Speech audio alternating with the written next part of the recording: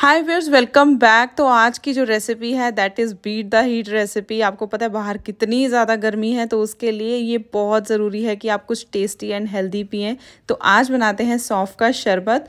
तो सौंफ के शरबत बनाने के लिए मैं मिश्री का यूज़ कर रही हूँ। इसे मैं चीनी या कुछ भी और चीज़ नहीं डालूँगी, ना कोई प्रिजर्वेटिव डालूँगी और एक बहुत अच्छा प्रीमिक्स बना लेंगे, जो कि छः महीने तक चलता रहेगा। तो इस मिश्री को मैंने तोड़ लिया है।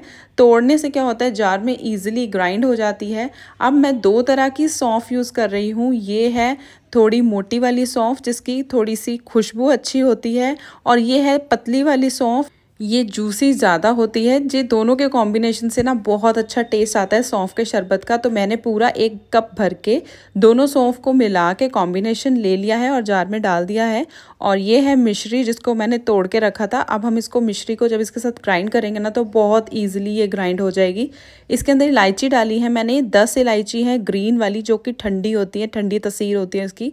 और थोड़ी सी ही मैंने ब्लैक पेपर डाली है। और इसको अभी हम ग्राइंड कर लेंगे। तो ग्राइंड कर करने के बाद एकदम आपको फाइन पाउडर कर देना है, ऐसे एकदम से बहुत ज़्यादा, जैसे कुछ भी इसमें पार्टिकल्स रहने नहीं चाहिए किसी भी चीज़ के। तो अब सबसे पहले मैंने क्या करना है, इसको यहाँ तो आप दो तरीके हैं या आप इसको पहले से ही छान लो। छानने से क्या होगा, आपको ईजी कईयों को, कई लोगों को मुँह में आती है सौंफ तो अच्छी नहीं लगती तो आप इसको पहले से ही छान के ना इसको एक कंटेनर में भर के रख लोगे। तो जब इसको कंटेनर में भर के रखोगे तो आप इसको थोड़ा सा फ्रिज वगैरह से दूर रखना क्योंकि फ्रिज में रखोगे तो ये थोड़ी सी जम जाएगी बट आप इसको बाहर रखोगे तो छः सात महीने ईजिली चल जाती है। तो अभी मैंने इसको छान लिया है। तो छानने के बाद ये जो पार्टिकल्स ऊपर आ गए हैं, आप देख सकते हो कितना ज़्यादा ऊपर इसका रफ पार्टिकल्स आ चुके हैं। तो इसको यहाँ तो आप किसी भी चीज़ में यूज़ कर सकते हो, इसको वेस्ट नहीं करना। किसी दूध वगैरह में भी यूज़ कर सकते हो। तो इसको साइड पे करते हैं और जो नीचे पूरा प्रॉपर पाउडर बन गया है ना, इसको हम एक कंटेनर में फिल करके रख लेंगे।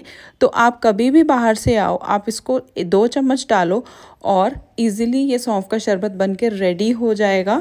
तो अभी मैं आपको बना के भी बताती हूँ।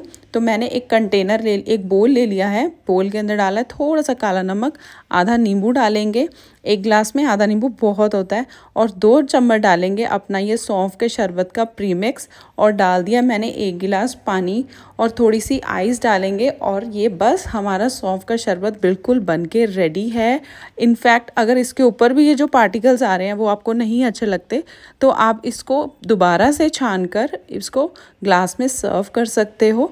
तो मैंने इसको ग्लास में छान लिया है।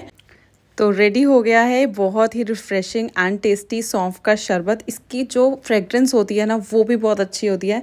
तो अब मैं आपको बता रही हूँ कि इसको आपको ग्लास में कैसे बनाना है इंस्टेंट तो ग्लास में भी मैंने थोड़ा सा काला नमक डाला है।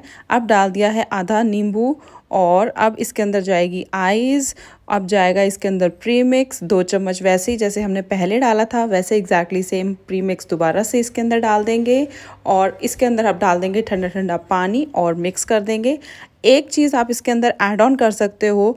मैंने चिया सीड्स जो है तो पहले से थोड़ी सी डिप करके रखी थी तो ये ऐसे थिक हो जाएँगी within fifteen to twenty minutes तो चिया सीड्स का भी एक चम्मच मैंने इसके अंदर डाल दिया है और मिक्स कर दिया है।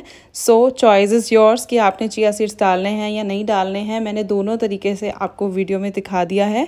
तो आप लोग भी जल्दी से ये सौंफ के शरबत का प्रीमिक्स बना के घर पे रख लो और कोई भी बाहर से आए उसको ज़रूर पिलाओ और लू से बचाओ। Do try this recipe till then stay tune stay healthy keep smiling bye